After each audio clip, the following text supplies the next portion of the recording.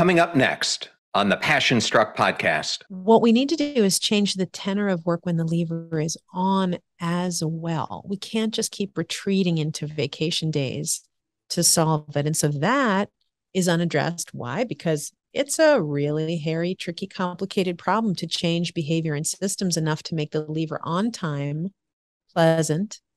But that's what we need to do. The challenge is to not use time off as a reason not to change time on. Welcome to Passion Struck. Hi, I'm your host, John R. Miles, and on the show, we decipher the secrets, tips, and guidance of the world's most inspiring people and turn their wisdom into practical advice for you and those around you. Our mission is to help you unlock the power of intentionality so that you can become the best version of yourself. If you're new to the show, I offer advice and answer listener questions on Fridays. We have long form interviews the rest of the week with guests ranging from astronauts to authors, CEOs, creators, innovators, scientists, military leaders, visionaries, and athletes. Now, let's go out there and become passion struck.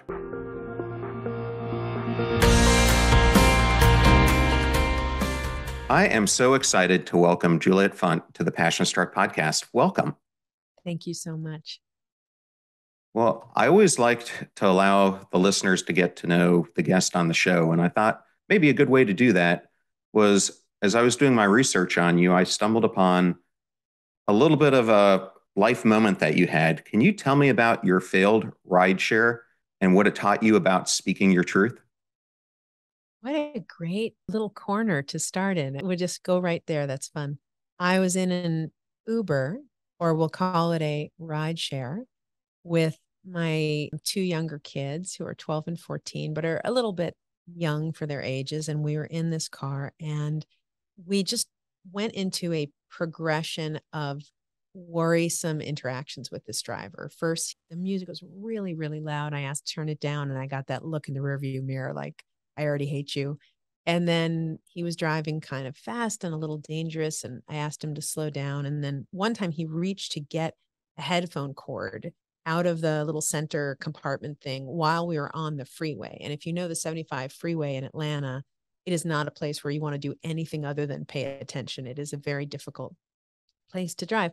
But on each of these progressive moments, I noticed how nervous I was to say what I needed to this 20 something stranger who I would never see again. And there's a little teeny thing in the back of your mind that remembers that they rate you. And I use Uber constantly for work. So you don't want to be painted as some terrible person. But I asked him about the music. And then he looked in the rearview mirror and begrudgingly turned it down a little bit. And then about three or four minutes later, I noticed the driving. In each one of these, I had a moment where the need rose inside me to say something. And then I felt really nervous. I felt really nervous to say what I needed. And it was wonderful that there were two kids there to be observing because, of course, you're always conscious that you're modeling when your kids are there to say in a gracious way that doesn't villainize this person, I'm sorry, I'm going to need this to be different. And then painfully, five minutes later, to have to say something again was real it was a real test of i'm a very strong person i speak on stage in front of 10 12,000 people i'm not a nervous person but just that interpersonal moment of i'm going to say something and you're going to like me less right after i say it and yet i still have to say it.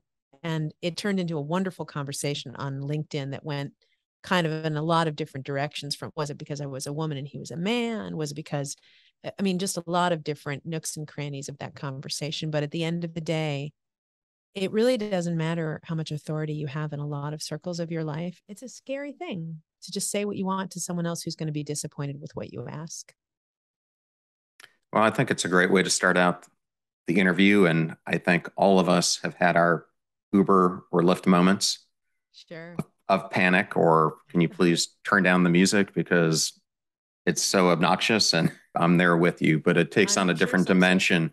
Yeah. I'm sure some social psychologists could break down the power differential of this is my car, but I'm the guest and it's my music. I mean, it's a fascinating thing if you really break down. I had one Uber driver really school me that this is my car and I'll have the music be you know, there it's too loud for me everywhere. So that's not an uncommon thing to ask. And it it's uh to really be gracious. It was a beautiful moment of allowing myself to slow down and open up because, of course, you lock it down quick in your mind and say, I'm the customer, deal with it. And then to open and say, yeah, that this is his environment and he's in it all day long. How does it look from his perspective? That we call it the 360 POV to really look at all the different points of view there's millions of opportunities a day to look within and figure out how you could be a slightly more open person and when you have kids around you again i think it accelerates that willingness.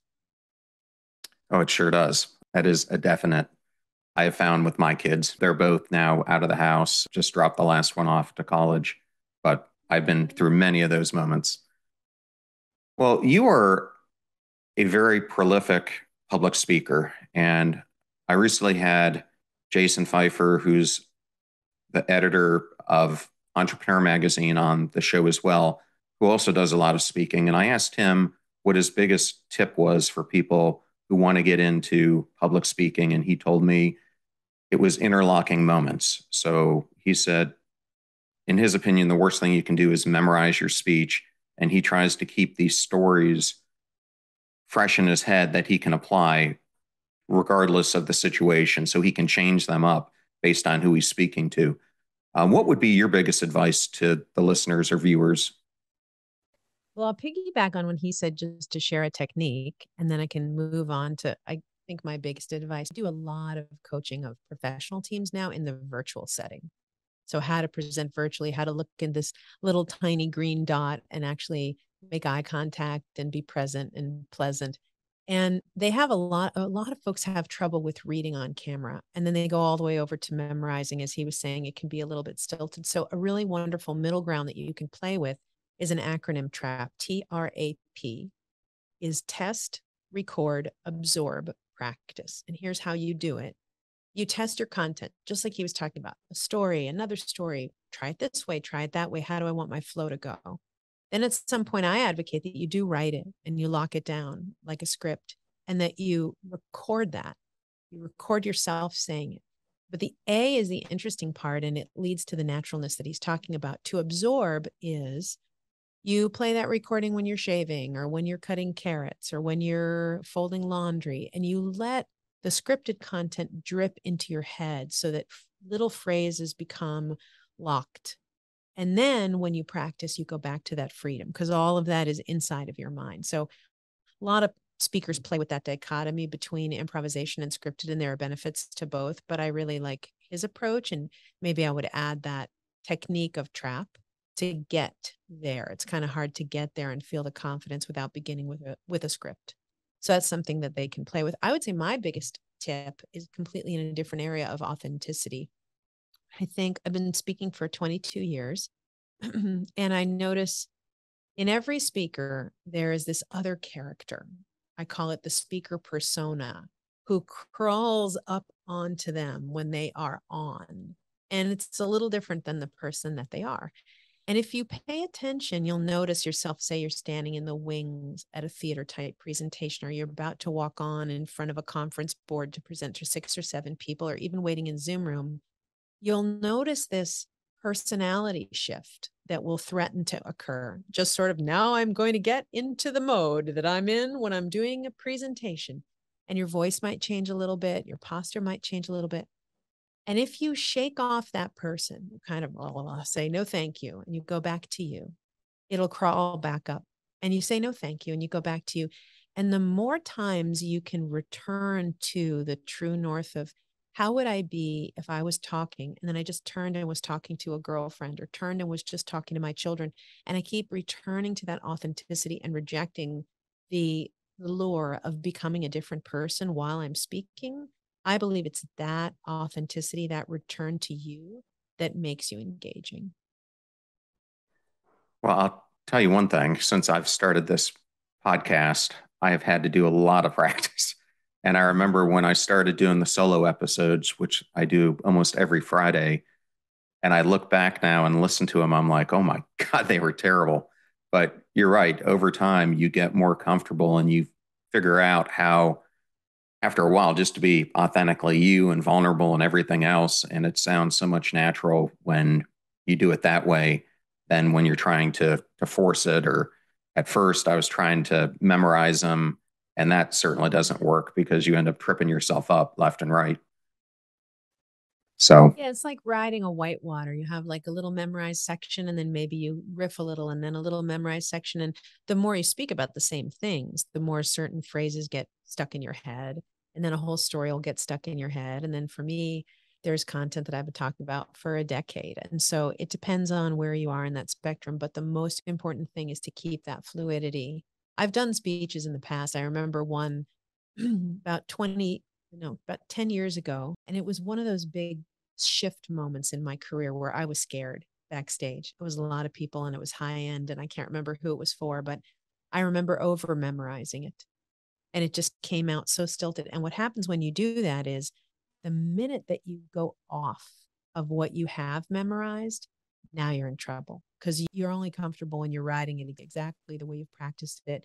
And you'll lose it in a way that is visible. They'll see it in your face and you'll, you're, ha, ah. And if you forget something, you beat yourself up afterwards as if they knew, as if they had the script in their hands, which they don't. It's something that you can definitely finesse over time. And the Zoom version, which we now all have to accept is a permanent part of our presenting reality, is a whole different ball game of confidence and competence and uh, technical skills, which we all need to learn. There's a lot to unpack. I think we're noticing a lot of teams this year say, well, we kept crossing our fingers that this was going to be over at some point, but it's not. Yeah, I'm not sure it's ever going to go back. In fact, right. I have this theory it's really not my theory. It's a social cycle theory where basically things re- travel in cycles and they come back. And I believe we've been living in this cycle of about 100 years now. And you've seen this rise in people who are working for large corporations and at the same time, a huge decline in entrepreneurship and smaller business ownership. But I think as we have these new technologies, AI, everything else that's hitting us, we're going to go back in a time where I think most people are going to become independent contractors. This is my theory. And because so many jobs are going to get displaced over the next 10 years, four to 500 million of them is what they're saying. And so you're going to have to continually reinvent yourself. And I think it's going to be harder for people to do that within the confines of companies. And I think we will have more independent contractors who are working for mul- multiple clients is where I think things are going. I could be wrong, but an ambiguity for people. They just can't get. There's a John Kotter principle he wrote about change lot. He talks about change coupons.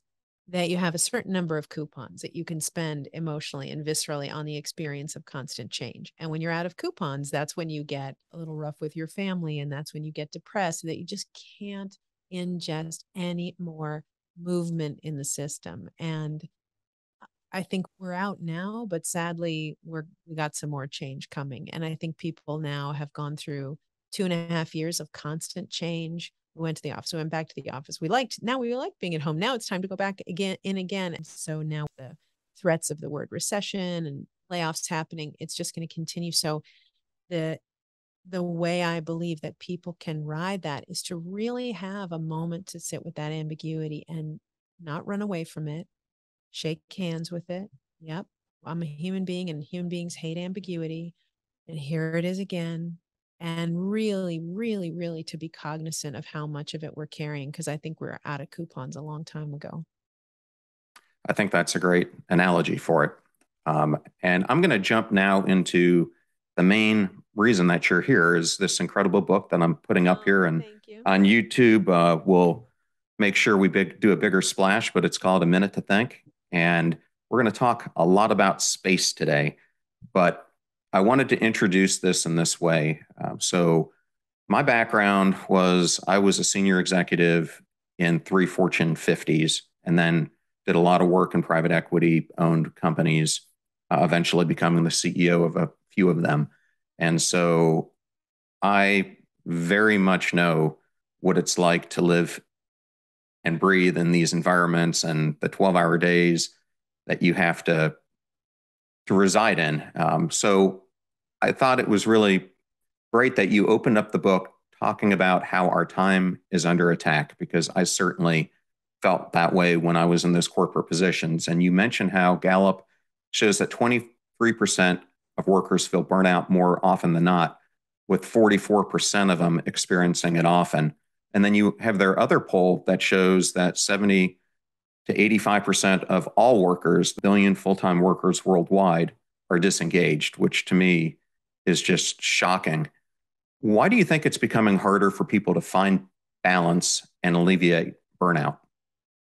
It's a really tough scenario that we've been in and going into, but I think we should overlay first with the foundational metaphor of everything that we're going to talk about. Otherwise, we won't have a container to answer that question that you just asked me. And it's where we open the book with the idea of building a fire. And I, I would really love everyone to think about this analogy because it really leads to everything we'll cover. If you're building a fire, you have to have certain ingredients. You want to have good wood, you want to have pine needles, newspaper, what have you. But if you skip one ingredient, your fire will never, ever, ever ignite. And that ingredient is the space in between the things that combust. And that space draws a spark into a flame. We believe very strongly that people are the same, ideas are the same, work teams are the same. They have to have oh, a little oxygenating space around them just to think, breathe, step back, become objective, recover, close your eyes, think great, follow a creative thread. All these things require space. So if we don't understand the space analogy, we won't understand where we're going. And we call that kind of time white space. The reason that we call it white space is because in the old days of coaching executives, where we'd open up their, at the time, paper calendar, the first line of investigation was to look for actual white spaces. Where were there openings, unscheduled time on the day? Because that determined everything. It determined the pace, the cadence, the flavor, the pressure was there white space. And so that's our work is to bring that oxygenation. And I think that people are in a really difficult juncture right now. I think that, first of all, it's so funny to hear that disengagement stat brought back right this minute with all the quiet quitting, because we've been watching people quietly quitting for a very, very, very long time now. It has a name and a brand and a thing, and it's on HBR. But people just being so unhappy that they can't even pull it together to care about work is so much misery, so much lack of humanity in these environments that you're talking about. And in the pandemic, there was a door that opened to this. And this conversation started about burnout and are people okay? And we started doing wellness days, which I can tell you my opinion of in a minute if you like. And then a really, really interesting thing happened in Q1 of this year was almost like a psychic message went out to all corporate leaders. And we just sort of said, all right, enough of that now. Let's get back to work. And something happened this year. I've really been watching this Q1, Q2. It's almost as if the burnout never happened, but real people never recovered. They just pushed it down. I'm really concerned about the health and longevity and wellness and stamina and engagement of people because of that sublimated burnout that really has never been addressed since the pandemic. Well, and the issue when you push it down, and I've talked about this a lot on the podcast, is it doesn't go away. You're just right. delaying inevitable. It's like trauma.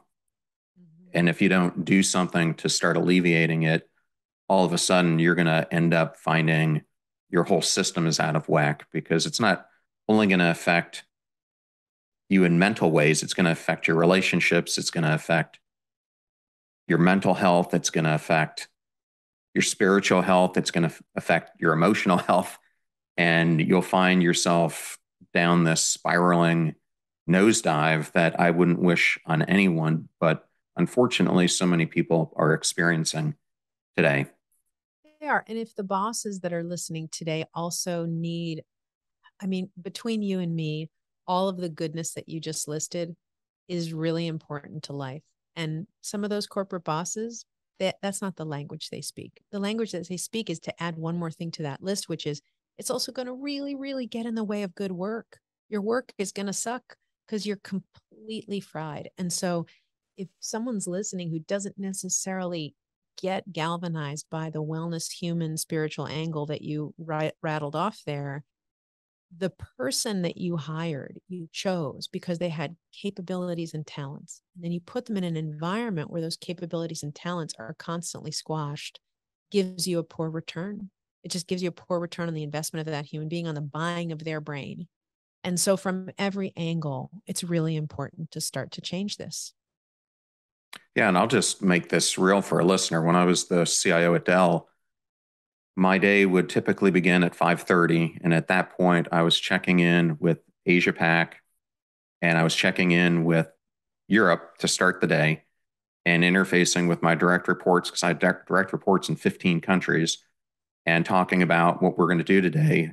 Then I'd roll into work 7:30, 8 o'clock, and I was in back-to-back meetings all day long until six o'clock. I'd get home, maybe do dinner with the family, and then at about 8 39 o'clock, I'm back working, trying to get through the emails. And I would have almost a thousand of them a day. So it got to a point to me where if it wasn't addressed to me, I wouldn't even look at it because I didn't have time. And then, you know, I'd wake up and do the same thing. And then every two weeks, I was traveling globally. And so I had to do the reverse from another country. And after a while, your system just gets so out of whack and you have no time to think. And for me, that's the most important thing I think a senior executive or leader needs to do is have those times for creativity because that's mm-hmm. where you get the brilliance. And if you eliminate that, you don't perform nearly as well as you do when you allow yourself to have that space, as you call it. I couldn't agree more. And what's funny hearing you say it like that as a story is if we lined up a bunch of corporate people and had them tell their parallel stories, we'd all sit back and say, that sounds crazy. The visceral feeling is that sounds crazy, but it's what we do and it's what we continue doing and it's what we ask people to do. Now, things have changed because hybrid came in and the pandemic shook it up and we started doing these wellness days. And I said I would refer back to that. The wellness days are a good thing the half day Fridays are a good thing. The promoting more vacation time is all a good thing. But it focuses on an idea that work is a lever and goes on and off, like one of those big giant cartoon levers with a big red end. And what the bosses who care are trying to do is they're trying to turn the lever off, go home for a wellness day, go to vacation. But what they ignore is that the minute the lever goes back on, we excuse and tolerate the same pressure and mania and crazy pace. What we need to do is change the tenor of work when the lever is on as well. We can't just keep retreating into vacation days to solve it. And so that is unaddressed. Why? Because it's a really hairy, tricky, complicated problem to change behavior and systems enough to make the lever on time pleasant but that's what we need to do and that's that's the challenge is to not use time off as a reason not to change time on? Well, I had a really interesting interview with uh, Jeremy Utley. It's not released yet because I'm under embargo because his book isn't released yet. Mm. But if you're not familiar with him, he is a professor at the D School at Stanford. And in all their research that they've been doing, they are showing just how much creativity and ideas are so important for a leader. And I don't want to give his book away, but he highlights two CEOs who were in charge of these huge behemoth companies. And in one case, the chairman of the board told him that he needed to take Friday off. And so he thought, well, okay, I'll maybe make my life a little bit easier. I won't attend as many meetings that day. I will leave it to this. And he goes, no, because I don't want you to work at all.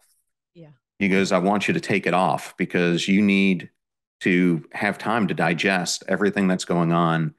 Your biggest job is to look at strategy, to look at what's happening.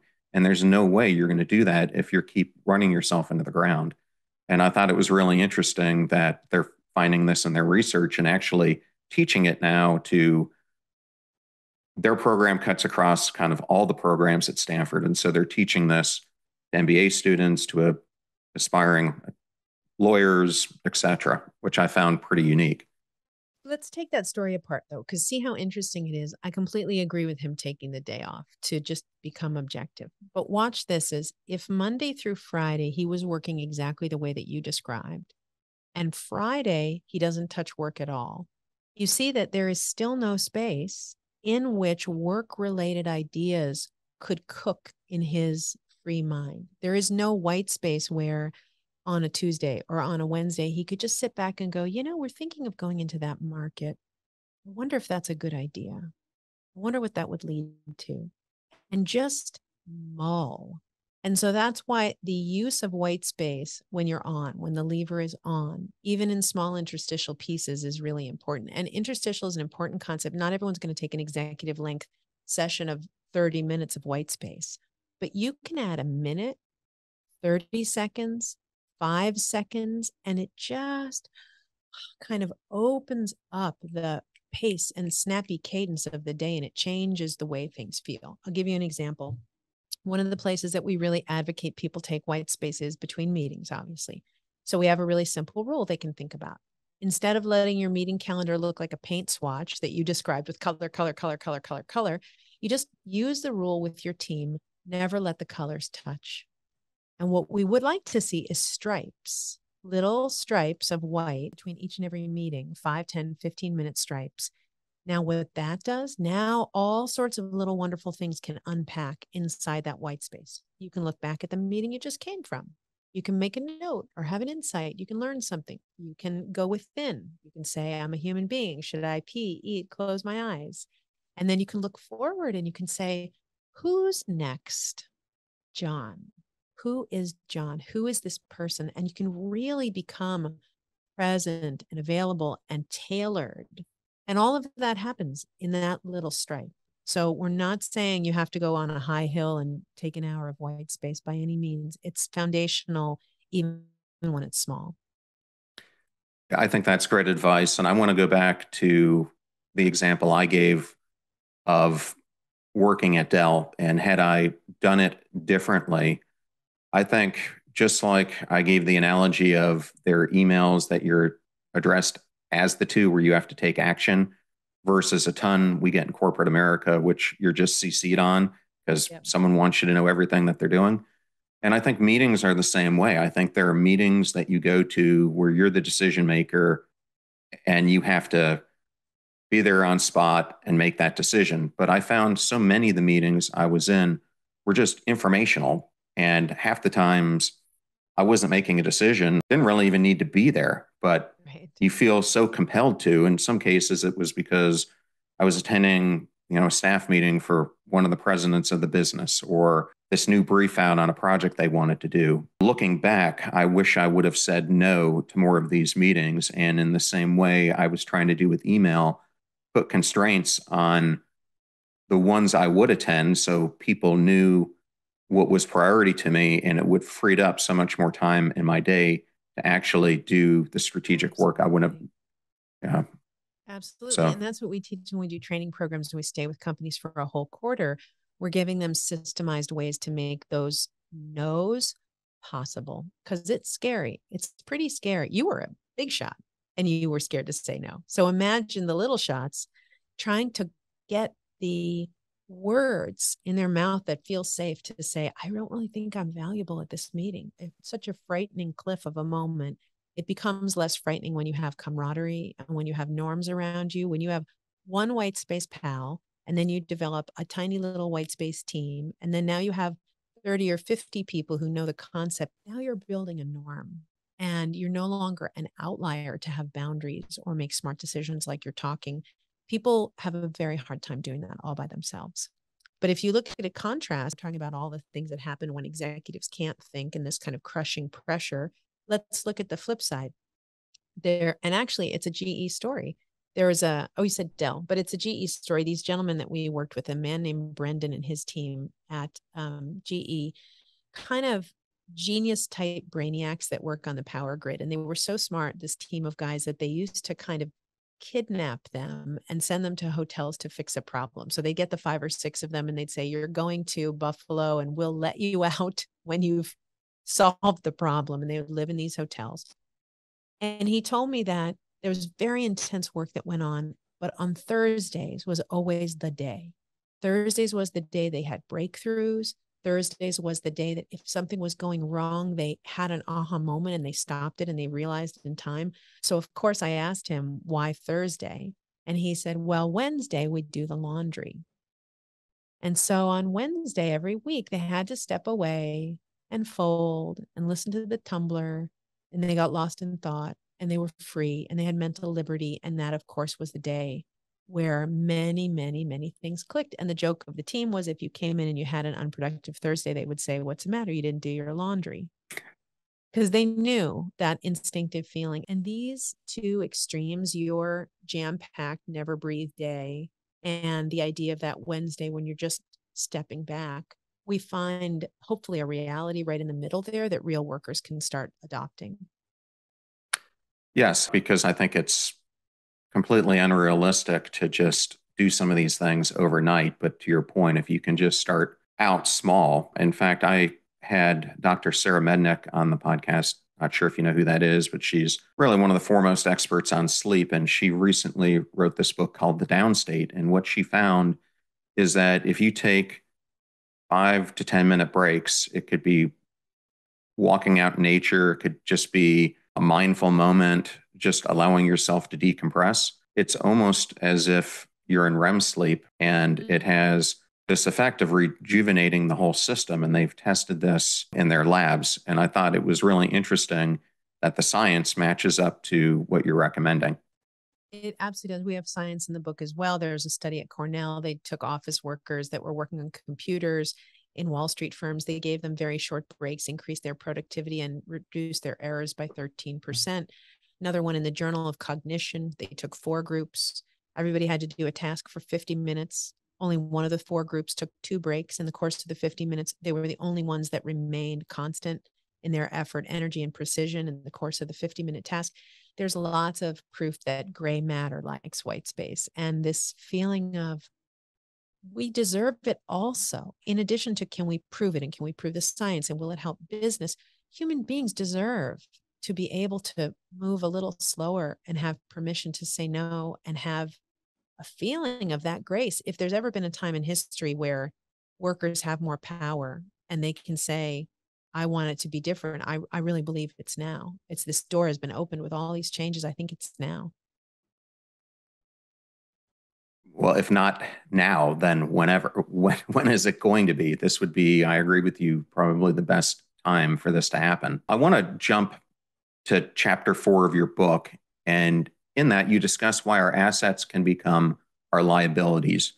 What are the four assets that many leaders bring to the workplace? And when taken too far, how can these assets become risks?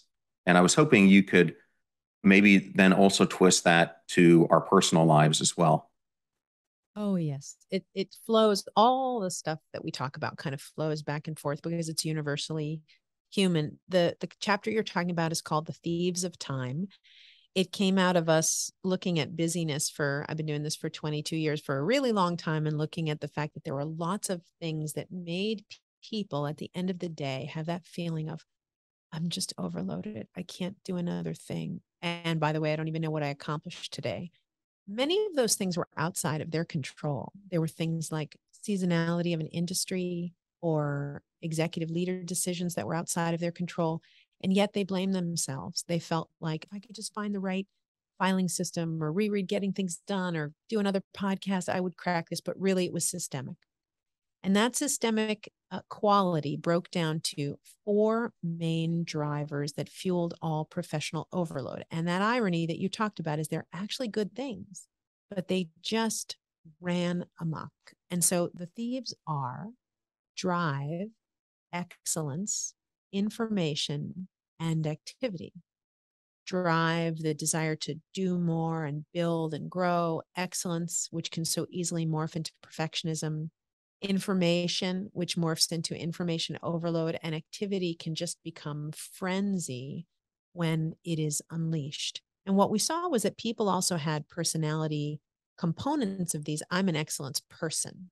I'm the person who redid our business cards four times because the teal wasn't right. And that is who I am. So I'm always going to double down on areas where something can be more precise. But information people, they get lost in dashboards and spreadsheets and the internet and Google searches. And then there's drive people who plan too many projects in the same month. And so for each of these personality types, and also for the personalities of organizations, we have to be very cautious about the thieves. And a lot of our process is to look at each thief and figure out how do you actually disarm it. And that would be chapter five. The next chapter, which we may or may not go through, called the simplification questions, is a system to take away the power of the thieves, to recognize them, create new self talk, and actually put them back into their right size when they can serve us as they are assets. I refer to chapter five as the core tenants to basically to decrapify your day. Yes. Uh, yes. I love that term. The, what are the... the, idea of those questions is really important. We'll, we'll have trouble doing them all on audio, but if you want to send them later or post them on the show page or something, the four simplification questions they should go on every wall. They are the method. They are the the antidote for sure. Well, I thought this would be a fun question. Why do so many people today fall into the relish of the hearty thwop of a big tuna of corporate waste hitting the deck? I love it when you quote something from the book.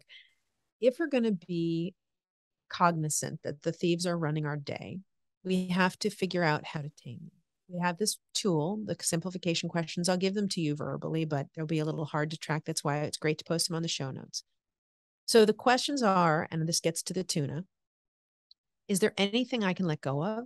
Is the solution to drive? Where is good enough good enough? Is the solution to excellence? What do I truly need to know is the solution to information? And what deserves my attention is the solution to activity. And when you do this over and over, if you post the questions, if you ask them a lot to yourself, you're developing a mindset of what we call being reductive. Not uh, reductive has other meanings, but we're talking math now, the mathematical sense of to reduce, to let go, to not be additive, to have less stuff. That is the cutting of emails, meetings, decks, reports, all the waste that is clogging up the day. That waste, by the way, has a dollar value. It's about a million dollars of annual talent time for every 50 people in organizations. So it's very expensive. And there are two types of waste. The tuna is big things that you can cut. And the krill is little teeny tiny waste that is your advantage to remove. The tuna would be I'm going to let go of a market. We're going to let go of a product. We're not going to build a new course this year. That's being reductive in the area of tuna. Krill is I'm going to shave five minutes off every meeting so I can breathe or I'm going to learn how to write with radical brevity. So every single email I send has 5, 10, 15 less words to keep the weight off of other people. And so between tuna and krill, it's absolutely amazing to see how much weight you can remove. I just finished a case study of a software company that regained 22 hours per person per month from a combination of tuna and krill. And, and why were they able to do that? They did have a very charismatic leader, and that was part of it. But they just looked, they took a minute to think, and they did what you said you weren't willing to do. They looked at each meeting, they looked at their emails, they looked at their Slack channel, and they said, What here is really neither benefiting us or contributing anything to the company? And they made a team decision to do less of that. It's not impossible. It's just, we just have to begin with either tuna or krill. And most people, it's safer to start with the krill. Well, it's interesting how some companies are now employing behavioral scientists inside them. I, I just interviewed uh, Jessie Wisdom, who, for a number of years after she got her PhD, went to work for Google, and they were actually having her look at uh, employees' work habits and how could they change it up to one make employees healthier but to make them more creative to make them happier to bring more engagement. And i think that's really interesting to have either social psychologists or behavioral scientists doing jobs like that because when you start looking at the macro things that are happening to your analogy there is so much waste that's happening and people aren't performing nearly at the levels that they could have if you take a, a deeper look at what they're doing. Absolutely. They have ankle weights on every single day and they're afraid to say no. They don't know what to say no to. They have no leadership modeling and the ideas of saying no. Even someone at your level was kind of just stuck in the feeling of, well, I have to do this one and I have to do this one and I got to send this one and I got to CC nine people on that one. And we're just in a trance about that.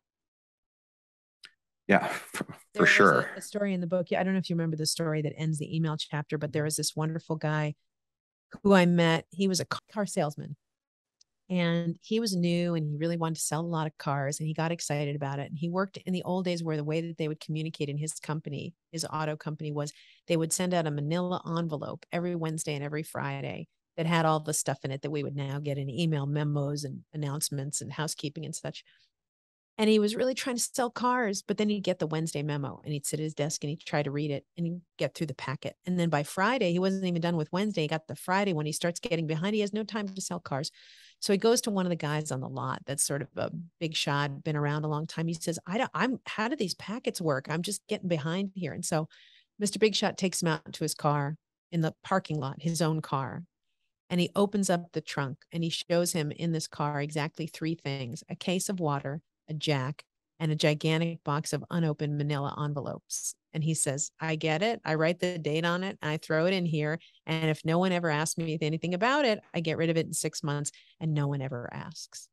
Now, I always have to say that story. And then I have to preface by saying, or pre post this by saying, I'm not being flippant about the importance of some of the things that are coming from the corporate mothership, but we need a lens where we can see how much unnecessary communication is actually coming at us and that we have to be much more discerning of what we choose to care about is 10 times more than we need and we have to pay attention to where is the gold and where is the waste. Well i'm going to jump from this topic to another one that i think we're going to enjoy talking about. Uh, my podcast today has dr cassie holmes on it and cassie is the foremost expert in the world on time and happiness. And in our discussion, she talks a lot about the need for vacation time. And it's something that you reference as well. So, what is the importance of vacation time, which in all these other countries, it seems like throughout the world, they take a whole month of August off and this and that. And we get our two weeks, whatever you have. And most people don't even end up using it. Why is that such a mistake? Vacation is unbelievably restorative, and we all know that. But the place in the vacation conversation where I've really staked my claim, I'm a, I agree with everyone who's saying we need more vacation. We should take it. We should take every day of it. It's ridiculous to be paid to take these days and not take them. But my corner of this argument is disconnected vacation. The difference between waking up in Cancun and checking email before breakfast room service versus waking up in Cancun and not checking email before breakfast room service is a million miles apart. And the reason is that I really feel that every day of vacation takes you further away from work in a linear way. Like if you were driving from New York to LA, you wouldn't turn around every four hours and check on New York just to make sure it didn't need you. You would keep going to get to a different destination. And when you've been on vacation for a week, two weeks, three weeks, I've had a disconnected month before, you arrive at a different place, a place where you connect with parts of yourself you forgot about, a place where your eyes and your head feel like they see clearly in a way that you haven't really accessed probably in a long time. And most importantly, when you turn around and you think about New York, you've become fully objective.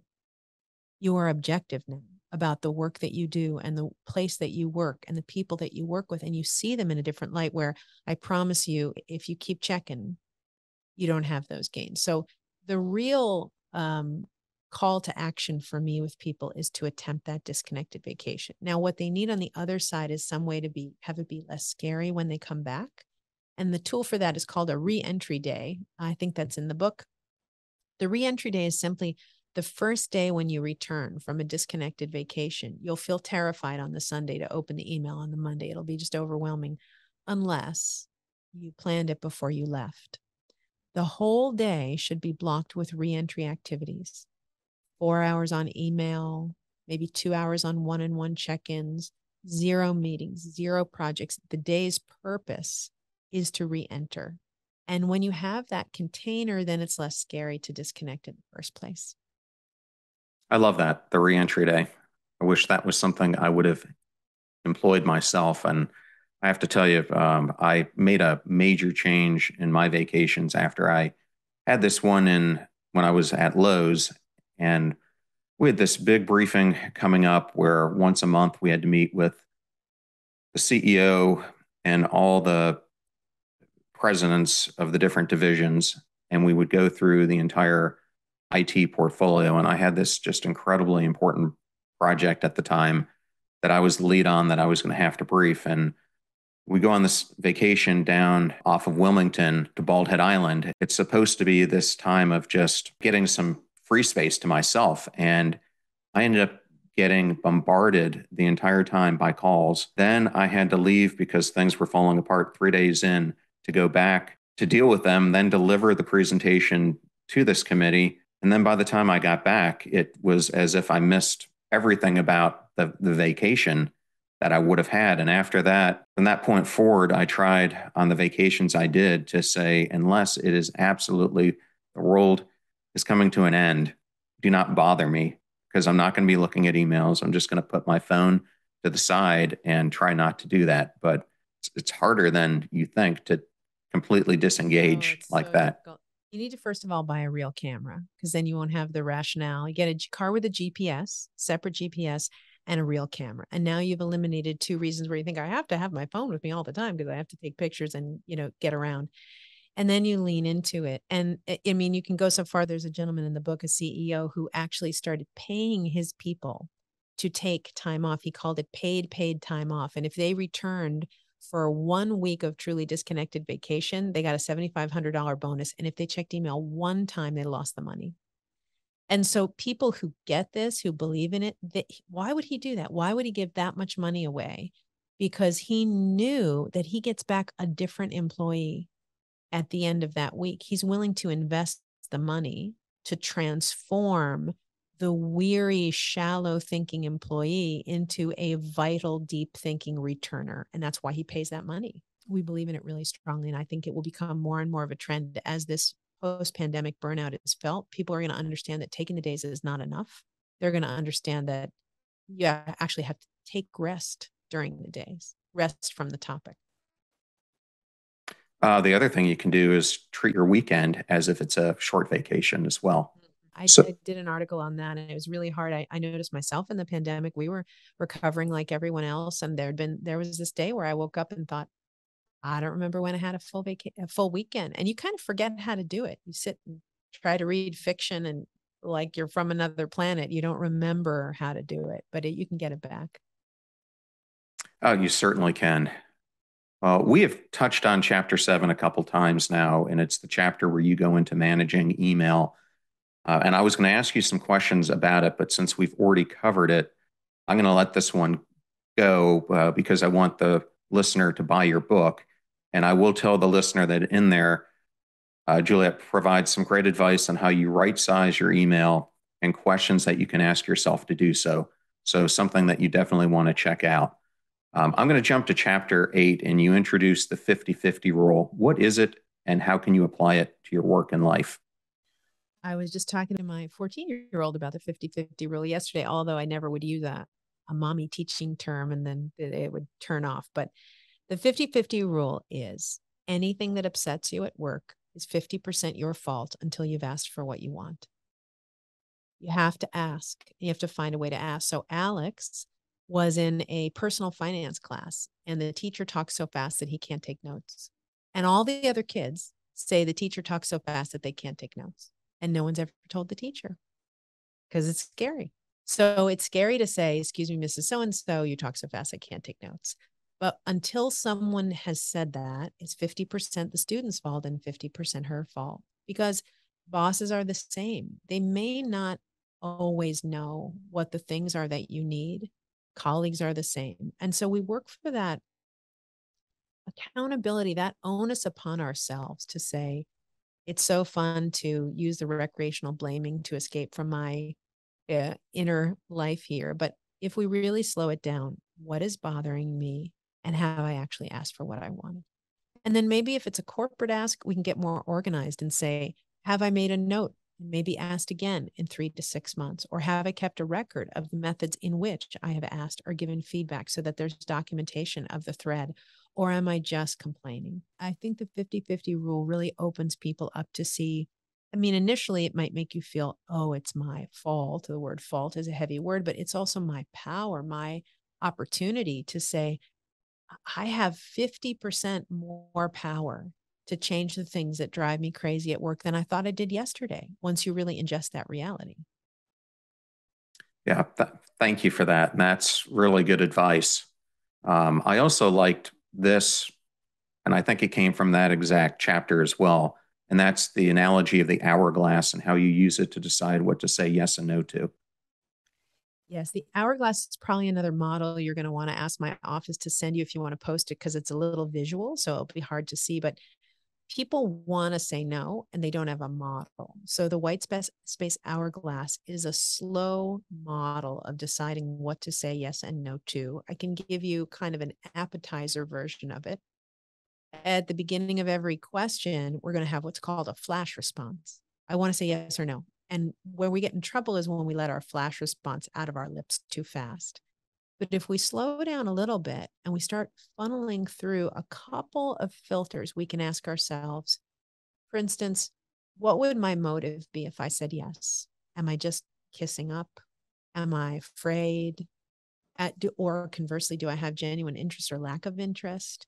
Then maybe we would go through what was the history of my previous yes and no's? Have I messed up in the past where maybe I volunteer too much and then I feel resentful, or I don't join in enough and then I feel left out? And then what's my future? How do I look ahead and say, would this yes or no change tomorrow and tomorrow and tomorrow? And what would that feel like? And when you get good at this, by the time you get down to your considered response, it's a it's a minute. You're not belaboring this long process. You just sort of thinking through what are my motives? What have I done before? How's it going to affect my future? Mm, I think this is a no. And it just gives people an organized way to think through their opportunities. Well, thank you for giving that. And I will have to get that so I can put it in the show notes for the listeners. Um, in chapter 11, I'm going to jump to that. Um, you talk about getting good at joy. How do we focus on more joy in our lives? It was funny that in a business book, there was a lot of conversation about whether the personal chapter should be the second to last or the last chapter in the book. Because the last chapter of the book is the is the note. It's the piece of music that you walk away humming. And the idea of a business book ending with a personal chapter was a bit of a conversation. But at the end of the day, if you look at work life balance, I have always been on team life. And I believe that work is something that we do so we can facilitate the rest of our life.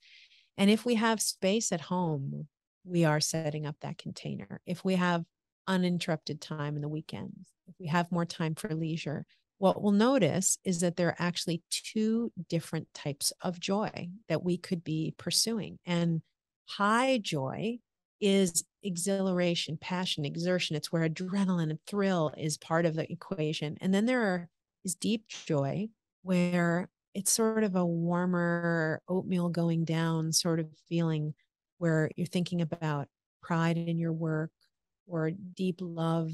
These are mellower feelings, but the recipe of the two of them is so important, and all of them need space. You can't touch joy if you got your AirPods in and you're running through the house at a million miles an hour. So I, I really was excited to leave the book on a note of, yeah, we're going to learn this thing called white space. I'll give you 10 chapters to transform the workplace with it. But at the end of the day, we need space. Our kids need space. Our joy needs space in order to flourish. Well, Juliet, I typically end these episodes by asking the author if there's one thing they wanted the reader to take away from the book, what would it be? But I'm going to ask it a different way. Okay. And that is how does taking a minute to think change the nature of our lives? It gives us more respect, I think, for each minute. That each minute when paid attention to, has richness, whether it be a hard emotion that we need to feel or whether it be a moment of joy that we want to not miss. Slowing it all down just makes it richer and makes it better and more effective in the workday. But again, my passion, the really reason I get up in the morning is to make sure they take it home with them. Okay. And I have one fun question I like to ask. Sure. Um, if if you were selected to be an astronaut and you were on the mission to Mars and the powers okay. that be told you that you and your crewmates each could lay down one law, one regulation, one you know universal thing for civilization on Mars, what would it be? Oh, good one. It might be that when you call your credit card company that you're connected immediately to a live human being. I think that would relieve more pain than all of my work. But let's say, I, oh, since we're on the theme of it, I will stick with a month of disconnected vacation per person per year. Okay. I'm sure millions of people would love that idea. Well, Juliet, if uh, the fans would like to get to know you better, what are some ways they can do that? Yes, please. They can come to my website, julietfunt.com. They can get the first chapter of the book for free, and they can also take the busyness test, which is a wonderful thing to do in teams. It's a small quiz that will show you exactly where in your daily activities busyness is robbing you of that space and what to do about it. Well, Juliet, thank you so much for coming on the show. It was such a joy, and your book was fantastic. So I highly encourage the listeners or viewers to buy a copy. We'll put a big picture of it in the show notes with a place that you can buy it. So we'll make it very easy for you to highly encourage the audience to buy Juliet's book. I found it so useful, and I will have it plastered all over the show notes with links for where you can buy it. Thank you so much. I really appreciate it. Thank you again for being on the show. I thoroughly enjoyed that interview with Juliet Funt. and I wanted to thank Juliet and Zilker Media for giving me the honor of having her on the show. You're about to hear a preview of the Passion Struck podcast interview I did with Jeff Struecker, who is a pastor, veteran, podcaster, author, and speaker. Jeff leads the Unbeatable Army. He's a decorated soldier who enlisted in the United States Army at 18 and went on to retire with almost 23 years of service. In 2017, he was inducted into the U.S. Army Ranger Hall of Fame. I don't mean this as an exaggeration. I have told people for 30 years the toughest job in the military is serving as a private in the Ranger Regiment. It's not getting into the unit. That alone has an extremely high attrition rate. But the first year in that unit is brutal. And there's well over 100% turnover that first year because the leaders of that unit don't really know what they're getting until they start to put them to the test in that first year. The fee for this show is that you share it with friends and family members when you find something useful or interesting. If you know someone who's dealing with time management issues or busyness at work, please share today's episode with them. The greatest compliment that you can give us is to share this show with those that you love and care about. In the meantime, do your best to apply what you hear on the show so that you can live what you listen. And until next time, live life passion struck.